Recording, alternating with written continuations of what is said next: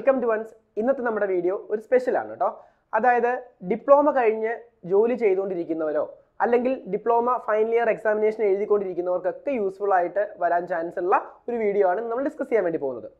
നിങ്ങൾ പത്താം ക്ലാസ്സും പ്ലസ് ടു ഒക്കെ കഴിഞ്ഞ് ഒരു തൊഴിലധിഷ്ഠിത വിദ്യാഭ്യാസം എന്നുള്ള നിലയ്ക്കായിരിക്കും ഡിപ്ലോമ ചൂസ് ചെയ്തിട്ടുണ്ടാവുക അല്ലേ? ഡിപ്ലോമ പല ബ്രാഞ്ചുകളുണ്ട് മെക്കാനിക്കൽ സിവിൽ ഇലക്ട്രിക്കൽ അങ്ങനെ പല ബ്രാഞ്ചുകളും നിങ്ങൾ ചൂസ് ചെയ്തിട്ടുണ്ടാവുക. ഇതിന് ശേഷം ഹയർ എഡ്യൂക്കേഷന് വേണ്ടിയിട്ട് പോകാൻ ആഗ്രഹിക്കുന്ന ഒരുപാട് പേരുണ്ടാവും. സ്വാഭാവികമായിട്ട് നമുക്കറിയാം നമ്മുടെ ഈ ഒരു ചെറിയ പ്രായത്തിൽ മാത്രമേ എപ്പോഴും ഹയർ എഡ്യൂക്കേഷൻ ഇമ്പോർട്ടൻസ് കൊടുക്കുകയുള്ളൂ. നമ്മൾ പഠിച്ച് കുറേ ജോലിക്ക് കഴിഞ്ഞ് കഴിഞ്ഞാൽ പിന്നെ പഠിക്കുക എന്നുള്ള ഒരു രീതി അല്ലെങ്കിൽ ആ പഠിക്കാനുള്ള ആ ഒരു എന്താ പറയുക നമ്മുടെ ആ മനസ്സിന് പാകപ്പെടുത്താൻ വളരെ ബുദ്ധിമുട്ടുള്ള കാര്യമാണ്. അപ്പോൾ മാക്സിമം എന്ത് വന്നാലും നമ്മൾ ഒരു ഹയർ എഡ്യൂക്കേഷൻ എന്ന് പറയുന്നത് അത്രയും ഇമ്പോർട്ടന്റ് ആണ്. കാരണം എന്താ? നമ്മൾ ഒരു ജോലി ജോലിക്ക് കയറി കഴിഞ്ഞാൽ നമ്മുടെ ക്വാളിഫിക്കേഷൻ അനുസരിച്ചുള്ള ഒരു പ്രൊമോഷൻ റേഞ്ച് ഒക്കെ വരുമ്പോഴായിരിക്കും നമ്മൾ ഇതിനെക്കുറിച്ച് ചിന്തിക്കുക. അപ്പോൾ എപ്പോഴും ഡിപ്ലോമ കഴിഞ്ഞ് വരുന്ന കുട്ടികൾക്ക് ഹയർ എഡ്യൂക്കേഷൻ എന്തൊക്കെ ഓപ്ഷൻസ് ആണ്? പല ഓപ്ഷൻസും ഉണ്ട്. അപ്പം എപ്പോഴും അവരുടെ പ്രധാനപ്പെട്ട അല്ലെങ്കിൽ ഏറ്റവും ഇമ്പോർട്ടന്റ് ആയിട്ടുള്ള ഓപ്ഷൻ എന്ന് പറയുന്നത് അവരുടെ എഞ്ചിനീയറിംഗ് ഡിഗ്രി എന്ത് ചെയ്യുക? കംപ്ലീറ്റ് ചെയ്യുക എന്നുള്ളതാണ്. ഇപ്പം ഡിപ്ലോമ മൂന്ന് ത്രിവത്സര ഡിപ്ലോമ കോഴ്സ് എന്നുള്ളത് ഒരു പ്രൊഫഷണൽ എഞ്ചിനീയറിംഗ് ഡിഗ്രി ആയിട്ട് കൺവേർട്ട് ചെയ്യുക എന്നുള്ളതാണ്. സോ അതിനു വേണ്ടിയിട്ട് ഇന്ന് കേരള ഗവൺമെന്റ് കൊണ്ടുവന്നിട്ടുള്ള അല്ലെങ്കിൽ ഈ ഡിപ്പാർട്ട്മെന്റ് ഓഫ് ടെക്നിക്കൽ എഡ്യൂക്കേഷൻ ഒക്കെ കൊണ്ടുവന്നിട്ടുള്ള ഒരു എക്സാമിനേഷനെ പറ്റി സംസാരിക്കാനാണ് ഞാൻ നിങ്ങളുടെ മുമ്പിൽ നിൽക്കുന്നത്. ലെറ്റ് എക്സാം നിങ്ങൾ എല്ലാവരും കേട്ടിട്ടുണ്ടാവും. സാധാരണ diploma final year students final year വിദ്യാർത്ഥികൾ എക്സാം എഴുതുന്ന അവസാന വർഷ വിദ്യാർത്ഥികൾക്കും ഡിപ്ലോമ കഴിഞ്ഞ് മറ്റെന്തെങ്കിലും കോഴ്സുകൾ ചെയ്യുന്നോ അല്ലെങ്കിൽ മറ്റ് ഡിപ്ലോമ കഴിഞ്ഞ് ഫിനിഷായി നിൽക്കുന്ന ആ കുട്ടി ആൾക്കാർക്കും ഒരു ബി ടെക് ബി ടെക് അല്ലെങ്കിൽ എന്താ പറയുക ബി ടെക്കിന്റെ രണ്ടാം വർഷത്തിലേക്ക് ഡയറക്റ്റ് ആയിട്ട് കയറാനായി കയറാനായിട്ടുള്ള ഒരു ബ്രിഡ്ജ് എക്സാമിനേഷൻ ആണ് എന്ന് പറയുന്നത്? ലെറ്റ് എന്ന് പറയുന്നത് lateral entrance test lateral entrance test എന്ന് പറയും. രണ്ടാം വർഷത്തിലേക്ക് നമുക്ക് ഡയറക്റ്റ് ആയിട്ട് കയറാം. ഒന്നാം വർഷ ഭാഗം എന്ന് പറഞ്ഞ ഡിപ്ലോമയിൽ നമ്മൾ ഒഴിവാക്കി ഡിപ്ലോമ പഠിച്ചത് കൊണ്ട് രണ്ടാം വർഷത്തിലേക്ക് ഡയറക്റ്റ് ആയിട്ട് കയറാൻ പറ്റുന്ന ഒരു എക്സാമിനേഷൻ ആണ് ലാറ്ററൽ എൻട്രൻസ് ടെസ്റ്റ് എന്ന് പറയുന്നത്. സാധാരണ ഡിപ്ലോമ ഹോൾഡേഴ്സ് സ്റ്റുഡൻസിനാണ് അവരുടെ പ്രൊഫഷണൽ ഡിഗ്രി കംപ്ലീറ്റ് ചെയ്യാൻ വേണ്ടി നമ്മൾ ഉപയോഗിക്കുന്ന ഒരു എക്സാമിനേഷൻ ആണ് ലെറ്റ്. സോ ഇതിനെപ്പറ്റി കൂടുതലായിട്ട് അറിയാം. എങ്ങനെയൊക്കെയാണ് എന്തൊക്കെയാണ് ഇതിൽ പഠിക്കേണ്ടത്? അതേപോലെ എന്താണ് ഇവിടുത്തെ സിലബസ് കണ്ടന്റ് എന്തൊക്കെയാണ്? ഇത് എങ്ങനെ എക്സാമിനേഷൻ അപ്ലൈ ചെയ്യാൻ പറ്റും? ഇത് ആരാണ് കണ്ടക്ട് ചെയ്യുന്നത്? ഇതിന് അഫിലിയേഷൻ ഉണ്ടോ? ഇതിന് സർട്ടിഫിക്കേഷൻ ഏത് രീതിയിലായിരിക്കും. ഇതൊക്കെ നമുക്ക് ഡിസ്കസ് ചെയ്യണം. ഓക്കെ സോ അതിനുവേണ്ടിയാണ് ഞാൻ നിങ്ങളുടെ മുമ്പിൽ വന്ന് നിൽക്കുന്നത്. സോ നമുക്ക് ആദ്യം അറിയേണ്ടത് എന്താണ് LET ലെറ്റിന്റെ full form lateral entrance test എന്നാണ്. ലാറ്ററൽ എന്ന് പറഞ്ഞാൽ ഞാൻ നേരത്തെ പറഞ്ഞ പോലെ തന്നെ ഡിപ്ലോമ ഒന്നും രണ്ടും മൂന്നും വർഷത്തിൽ എഞ്ചിനീയറിംഗിന്റെ ഓൾമോസ്റ്റ് എല്ലാ ബേസിക്കും നമ്മൾ പഠിക്കുന്നുണ്ട്. അല്ലെ? ഡ്രോയിങ് ഉൾപ്പെടെയുള്ള എല്ലാ ഏത് ബ്രാഞ്ച് ആണെങ്കിലും ശരി ഡ്രോയിങ് ഉൾപ്പെടെയുള്ള ബേസിക് ആയിട്ടുള്ള സബ്ജക്റ്റുകളെല്ലാം നമ്മൾ ക്ലിയർ ചെയ്യുന്നുണ്ട്. അതിന്റെ കൂടെ തന്നെ നമ്മുടെ ബേസിക് സബ്ജക്റ്റുകളായിട്ടുള്ള ഫിസിക്സ് സയൻസ് സയൻസ് ജനറൽ സബ്ജക്റ്റുകളായിട്ടുള്ള ഫിസിക്സ് കെമിസ്ട്രി മാത്തമാറ്റിക്സ് കൂടെ ഇംഗ്ലീഷും നമ്മൾ പഠിക്കുന്നുണ്ട്. സോ ഈ ഒരു ഭാഗങ്ങളെല്ലാം ഒഴിവാക്കിക്കൊണ്ട് എഞ്ചിനീയറിംഗ് ഡിഗ്രിയുടെ കോർ സബ്ജക്റ്റുകളിലേക്ക് ഡയറക്റ്റ് ആയിട്ട് പഠിക്കാൻ ഡയറക്റ്റ് ആയിട്ട് കയറാൻ അതും ഡിപ്ലോമ കഴിഞ്ഞവർക്ക് മാത്രം ഡിപ്ലോമ പാസ്സായവർക്ക് മാത്രം കയറാനായിട്ട് ഗവൺമെന്റ് ഓഫ് ഇന്ത്യ അല്ലെങ്കിൽ എന്താ പറയുക കേരള ഗവൺമെന്റ് ഓരോ സ്റ്റേറ്റ് വൈസ് നടത്തുന്ന ഒരു എക്സാമിനേഷൻ ആണ് എന്ത് ലെറ്റ് എക്സാമിനേഷൻ എന്ന് പറയുന്നത് ലാറ്ററൽ എൻട്രൻസ് ടെസ്റ്റ് എന്ന് പറയുന്നത്. Okay so LET stand for lateral entrance test ഇവിടെ നോക്കിക്കഴിഞ്ഞാൽ നിങ്ങൾക്ക് മനസ്സിലാവും. ബിടെക് കോഴ്സിലേക്ക് രണ്ടാം വർഷത്തിലേക്ക് ഡയറക്റ്റ് ആയിട്ട് അഡ്മിഷൻ നേടുക. അപ്പോൾ ഒരു വർഷം മൂന്ന് വർഷം വിദ്യാർത്ഥികൾ മൂന്ന് വർഷം ഡിപ്ലോമ പഠിച്ച വിദ്യാർത്ഥികൾക്ക് നാല് വർഷത്തെ ബിടെക് മൂന്ന് വർഷം കൊണ്ട് തന്നെ കംപ്ലീറ്റ് ചെയ്യാൻ പറ്റുന്ന ഒരു രീതിയാണ് എന്ത്? ലാറ്ററൽ എൻട്രൻസ് മെത്തേഡ് എന്ന് പറയുന്നത്. ഓക്കെ ഇതൊരു സ്റ്റേറ്റ് ലെവൽ എക്സാമിനേഷൻ ആണ്. ഓരോ സ്റ്റേറ്റിനും ഓരോ department of technical education department ഉണ്ടാവും. അവരായിരിക്കും ഇത് കണ്ടക്ട് ചെയ്യുക എന്ന് പറയുന്നത്. അല്ലെ? കേരളത്തിൽ ഇത് കണ്ടക്ട് ചെയ്യുന്നത് ഡി ടി എന്ന് പറയും. ഡിപ്പാർട്ട്മെന്റ് ഓഫ് ടെക്നിക്കൽ എഡ്യൂക്കേഷൻ ആണ് എന്ത് ചെയ്യുന്നത്. ഇത് കണ്ടക്ട് ചെയ്യുന്നത് ഈ examination absolutely A C T യുടെ ചട്ടപ്രകാരം മാത്രം. അല്ലെങ്കിൽ ചട്ടപ്രകാരം നടക്കുന്നതായിരിക്കും എ സി ടി അപ്രൂവ്ഡ് ആയിട്ടുള്ള ഒരു എക്സാമിനേഷൻ ആണ്. ഇതിന്റെ ഫർദർ ആയിട്ടുള്ള എല്ലാ കാര്യങ്ങളും A C T U G C approved ആയിട്ടുള്ള കാര്യങ്ങളാണ്. ഓക്കെ സോ എന്താണ് ഒരു ഡി ടി നടത്തുന്ന അല്ലെങ്കിൽ കേരള ലെവൽ എക്സാമിനേഷൻ നടത്തുന്ന ലാറ്ററൽ എൻട്രൻസ് ടെസ്റ്റിന്റെ എലിജിബിലിറ്റി ക്രൈറ്റീരിയാസ് എന്തൊക്കെയാണെന്ന് നമുക്ക് നോക്കാം. ആർക്കാണ് ഇത് അപ്ലൈ ചെയ്യാൻ ചാൻസ് ഉള്ളത്? അല്ലെങ്കിൽ അപ്ലൈ ചെയ്യാൻ സാധിക്കുക എന്നുള്ളതാണ് എലിജിബിലിറ്റി ക്രൈറ്റീരിയ നോക്കി കഴിഞ്ഞാൽ മനസ്സിലാവും. Should be pass in diploma in engineering technology awarded by the state board of technical education or institution under government of India after undergoing regular course of three years മൂന്ന് വർഷ compulsory diploma കഴിഞ്ഞവർക്ക് ഇപ്പോൾ ഡിപ്ലോമയിൽ തന്നെ plus two കഴിഞ്ഞ് കയറുന്ന കുട്ടികളുണ്ട്. Lateral entry വഴി കയറുന്ന കുട്ടികളുണ്ട്. അവർക്കും ഇപ്പോൾ ചാൻസ് ഉള്ളതാണ്. സോ ത്രിവത്സര ഡിപ്ലോമ എന്ന് തന്നെ പറയുള്ളൂ. ത്രിവത്സര ഡിപ്ലോമ കഴിഞ്ഞിട്ടുള്ള കുട്ടികൾക്ക് രണ്ടാം വർഷത്തിലേക്ക് കയറാൻ ബി ടെക്കിന് രണ്ടാം വർഷത്തിലേക്ക് കയറാനായിട്ട് ഉള്ള കുട്ടികളായിരിക്കണം. അപ്പോൾ അതുകൊണ്ട് എ സി ടി അപ്രൂവ് ചെയ്തിട്ടുള്ള കോഴ്സുകളിൽ എ സി ടി അപ്രൂവ് ചെയ്തിട്ട് ത്രിവത്സര ഡിപ്ലോമ കംപ്ലീറ്റ് ചെയ്ത കുട്ടികൾക്കാണ് എന്ത് ഇതിനുള്ള പ്രാതിനിധ്യം കൂടുതൽ. രണ്ടാമത്തെ കാര്യം എന്ന് പറയുന്നത് candidates appearing in final year diploma examination can also apply the subject to the condition that they will produce the qualifying certificate original or provisional at the time of examination പാസ്സായ കുട്ടികൾക്ക് മാത്രമല്ല ഫൈനൽ ഇയർ എക്സാമിനേഷൻ ഡിപ്ലോമയുടെ S six ആറ് semester ആണ് ഡിപ്ലോമയ്ക്ക് examination ഉള്ളത്. ആറാം സെമസ്റ്ററിന്റെ പരീക്ഷയുടെ എൻഡിൽ അതായത് പരീക്ഷ എഴുതിക്കൊണ്ടിരിക്കുന്ന കുട്ടികൾക്കും അല്ലെങ്കിൽ പരീക്ഷ എഴുതാൻ വേണ്ടി തയ്യാറെടുത്തുകൊണ്ടിരിക്കുന്ന കുട്ടികൾക്കും അവസാന സെമസ്റ്റർ എക്സാമിനേഷൻ രജിസ്റ്റർ ചെയ്തവർക്കും ഇത് അപ്ലൈ ചെയ്യാൻ സാധിക്കാവുന്നതാണ്. അവരുടെ എക്സാമിനേഷൻ റിസൾട്ട് വരുന്ന സമയത്ത് പ്രൊവിഷണൽ റിസൾട്ട് പ്രൊവിഷണൽ മാർക്കോ അല്ലെങ്കിൽ എന്താണ് അവരുടെ ഒറിജിനൽ സർട്ടിഫിക്കറ്റോ സബ്മിറ്റ് ചെയ്യാവുന്നതാണ്. അത് അപ്ലൈ ചെയ്യുന്ന സമയത്ത് കോളേജിൽ നിന്നുള്ള വേണ്ട ഡോക്യുമെന്റ്സ് സ്കാൻ ചെയ്ത് അപ്ലോഡ് ചെയ്ത് അവർക്ക് എന്ത് ചെയ്യാൻ സാധിക്കും? ഈ എക്സാമിനേഷന് അപ്ലൈ ചെയ്യാനായിട്ട് സാധിക്കും. മൂന്നാമത്തെ കാര്യം എന്ന് പറയുന്നത് കാൻഡിഡേറ്റ്സ് വയസ്സ് വളരെ ഇമ്പോർട്ടന്റ് ആയിട്ടുള്ള ക്രൈറ്റീരിയ ആണ്. എക്സാമിനേഷൻ രജിസ്റ്റർ ചെയ്യുന്ന സമയത്ത് മുപ്പത് വയസ്സ് തേർട്ടി ഇയേഴ്സ് അത് കഴിഞ്ഞിട്ടുണ്ടാവാൻ പാടില്ല. അതാണ് തേർഡ് ക്രൈറ്റീരിയ എന്ന് പറയുന്നത്. രണ്ടാമത്തെ case candidate should have qualified the diploma courses in engineering or technology with at least forty five percentage mark forty two percentage for C B S E and O E C category forty percentage of S C S T category from any state board of technical education or institution under government of India government of ഇന്ത്യയുടെ diploma കോഴ്സിനകത്ത് mark percentage പറയുന്നുണ്ട്. Forty five percentage മാർക്കോട് കൂടി പാസ്സായിട്ടുള്ള കുട്ടികൾ ആയിരിക്കണം. അതിൽ reservation കാറ്റഗറിയിൽ നാൽപ്പത്തി രണ്ടും നാൽപ്പതും S C S T category forty percentage വരെ റിസർവേഷൻ ഉള്ളവർക്ക് ആ ഒരു ഒരു മാർക്കിന്റെ ഇളവ് അവിടെ അവർ മെൻഷൻ ചെയ്യുന്നുണ്ട്. അടുത്ത കേസ് എന്ന് പറയുന്നത് അത് ഇന്ത്യയിൽ എവിടെ വേണമെങ്കിലും ഡിപ്ലോമ എടുത്തവർക്കായിരിക്കാം. അത് A C T U G C government of India approve ചെയ്തിട്ടുള്ള കോളേജിൽ നിന്ന് ത്രിവത്സര ഡിപ്ലോമ കംപ്ലീറ്റ് ചെയ്തിട്ടുള്ള കോളേജിൽ നിന്നോ ഡിപ്ലോമ കംപ്ലീറ്റ് ചെയ്തിട്ടുള്ളവർക്കാണ് എന്ത് ഈ ഒരു പർട്ടിക്കുലർ ഇതിൽ ഇതിൽ അപ്ലൈ ചെയ്യാനായിട്ട് സാധിക്കുകയുള്ളൂ. അടുത്ത കേസ് എന്ന് പറയുന്നത് നോൺ കേരളൈറ്റ്സിനും കേരളൈറ്റ്സിനും ഇതിന് അപ്ലൈ ചെയ്യാം. പുറത്തുനിന്നുള്ള കുട്ടികൾക്കും അപ്ലൈ ചെയ്യാം. പക്ഷേ നോൺ കേരളൈറ്റ്സിനുള്ള ഒരു പ്രത്യേകത ഇപ്പം അതർ സ്റ്റേറ്റ് കേരള സ്റ്റേറ്റ്സ് ആണെങ്കിൽ നമ്മുടെ അതർ സ്റ്റേറ്റ് ആണെങ്കിൽ അവർക്ക് സെൽഫ് ഫിനാൻസിങ് കോളേജുകളിലോ അല്ലെങ്കിൽ എയ്ഡഡ് സെക്ഷനിലെ പ്രൈവറ്റ് ഗവൺമെന്റ് കൺട്രോൾ ചെയ്യുന്ന പ്രൈവറ്റ് സെക്ഷൻസിലെ മാനേജ്മെന്റ് സീറ്റുകളൊക്കെ ആയിരിക്കും അവർക്ക് എന്ത് ചെയ്യാൻ പറ്റുക? അവർക്ക് സ്വീകരിക്കാനായിട്ട് പറ്റുക എന്നുള്ള ഒരു ഡിഫറൻസ് മാത്രമാണുള്ളത്. ഈ ഇത്രയും കാര്യങ്ങളാണ് ക്രൈറ്റീരിയ എന്തിൽ എലിജിബിലിറ്റി ക്രൈറ്റീരിയയിൽ വരുന്നത്.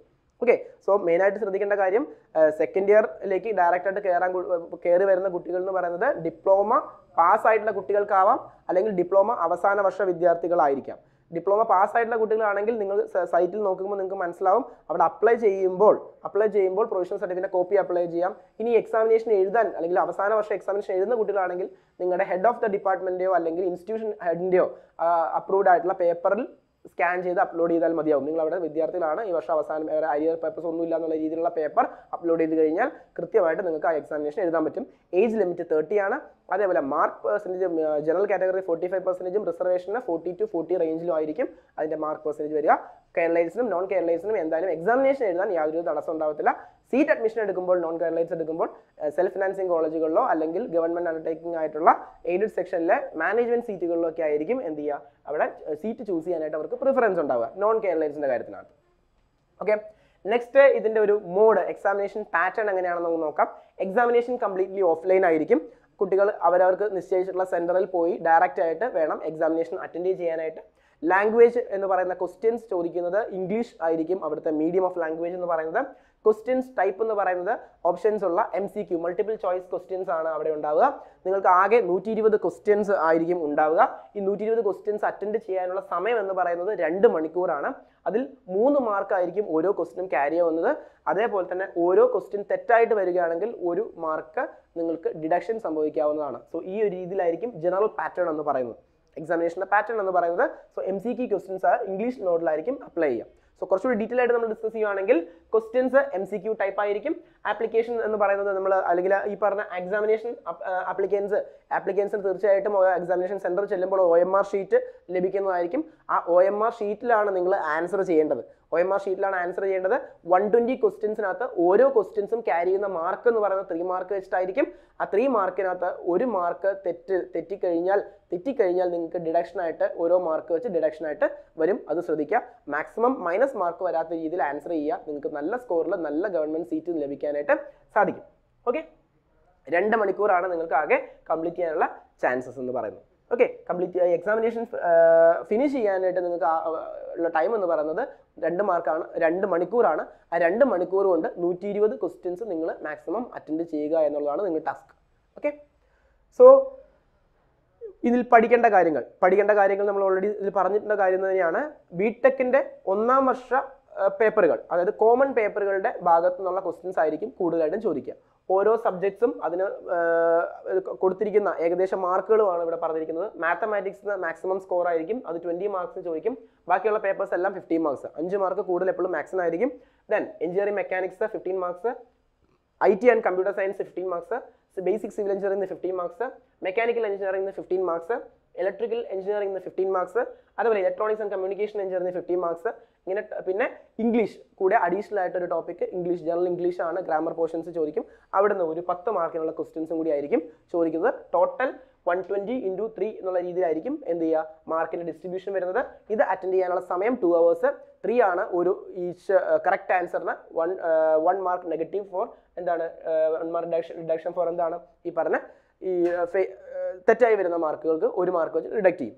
അതേപോലെ തന്നെ നമുക്ക് ക്വാളിഫയിങ് മാർക്ക് എന്ന് പറയുന്നത് മിനിമം റിക്വയർഡ് എന്ന് പറയുന്നത് fifteen percentage of the total മാർക്കാണ് ടോട്ടൽ മാർക്കിന്റെ ഫിഫ്റ്റീൻ പെർസെന്റേജ് ആണ് ജനറൽ കാറ്റഗറി ക്വാളിഫയിങ് മാർക്കായിട്ട് വരുന്നത്.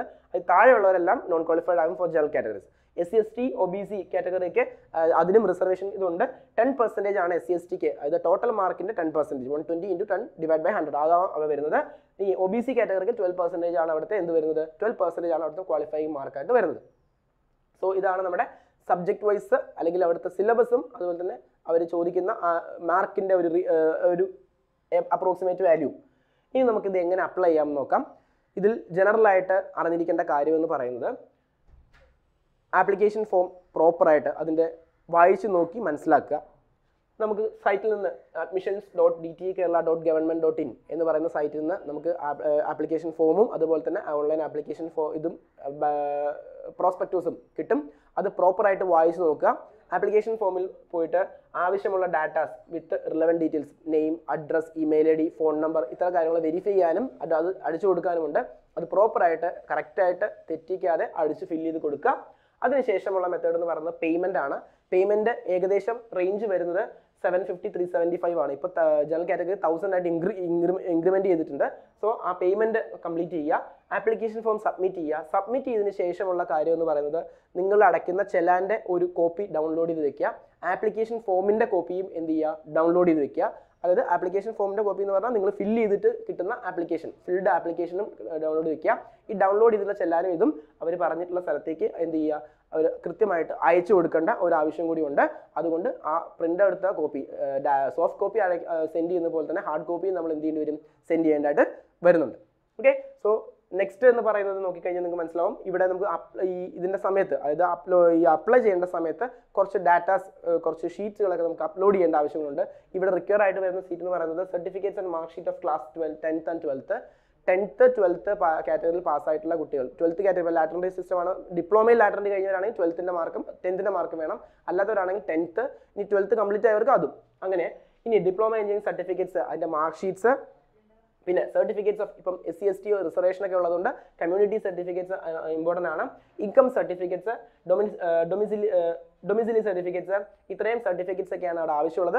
ഈ പറഞ്ഞ സർട്ടിഫിക്കറ്റ്സ് എല്ലാം നമ്മൾ അപ്ലോഡ് ചെയ്യുന്നതിനോടൊപ്പം തന്നെ ഇതെല്ലാം കളക്ട് ചെയ്ത് അപ്ലോഡ് ചെയ്യുന്ന വേണ്ട ഡോക്യുമെന്റ് മാത്രം അപ്ലോഡ് ചെയ്ത് കൊടുക്കുക. അപ്ലോഡ് ചെയ്ത ഡോക്യുമെന്റ്സിനോടൊപ്പം തന്നെ ആപ്ലിക്കേഷൻ ഫോമും ചെലാൻ ഫീ പേയ്മെന്റ് ഓൺലൈനായിട്ട് അടച്ചിട്ടുള്ള ചെലാനും ഈ പറഞ്ഞ അറ്റസ്റ്റഡ് കോപ്പീസും പറഞ്ഞ ഡോക്യുമെന്റ്സിന്റെ അറ്റസ്റ്റഡ് കോപ്പീസും ഒരു കവറിൽ നിങ്ങൾ ഹാർഡ് കോപ്പി ആയിട്ട് അയച്ചു കൊടുക്കണം. അതിന്റെ ഫ്രണ്ടിൽ LET B tech two thousand twenty three twenty two ഏത് ഇയർ ആണെന്ന് വെച്ചാൽ അത് മെൻഷൻ ചെയ്യുക അത് ഏത് അഡ്രസ്സിലാണ് അത് the joint controller of technical examination Kaimanam Thiruvananthapuram six nine five zero four zero എന്ന് പറയുന്ന അഡ്രസ്സിൽ നിങ്ങൾ എന്ത് ചെയ്യണം? ഹാർഡ് കോപ്പി ആയിട്ട് സെൻഡ് ചെയ്ത് കൊടുക്കണം. സോ ഇത്രയും കാര്യങ്ങൾ കഴിയുമ്പോഴാണ് നിങ്ങളുടെ എക്സാമിനേഷന്റെ കാര്യങ്ങൾ കംപ്ലീറ്റ് ആവുക. എക്സാമിനേഷൻ അപ്ലൈ ചെയ്യാനുള്ള കാര്യങ്ങൾ കംപ്ലീറ്റ് ചെയ്യുക.